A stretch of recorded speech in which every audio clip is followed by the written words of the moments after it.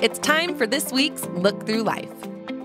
Our July missions emphasis is a cause for tea. A cause for tea exists to globally empower women and children, demonstrating God's love one teacup at a time. This month, we are supporting the Tea Light program, which sponsors women who have completed the six month vocational rehabilitation program and have begun to re enter the workplace with employment at a Cause for Tea's Tea House, located in Monroe. Your gift will help compensate women in the Tea Light program with a salary, and this compensation for their work empowers them in many practical ways as they re enter our community as citizens. Every $6,000 sponsors a Tea Light for six months. Let's work together to support this great cause. You may give toward this cause all month long, either online or through the Life app, by using the monthly missions emphasis fund. You can also stop by Crossroads Cafe to purchase a variety of loose leaf teas, another way to support this mission.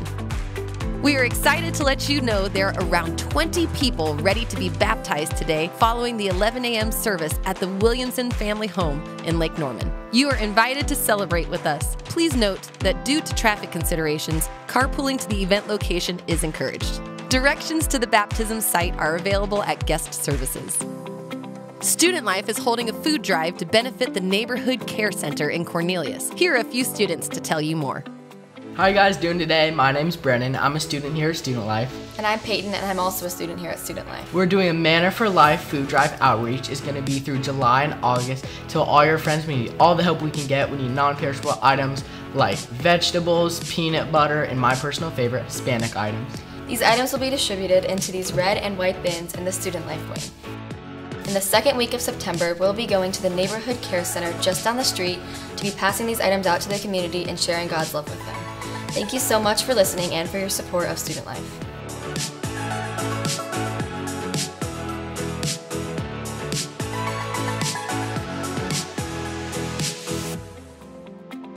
That's all for this week's Look Through Life.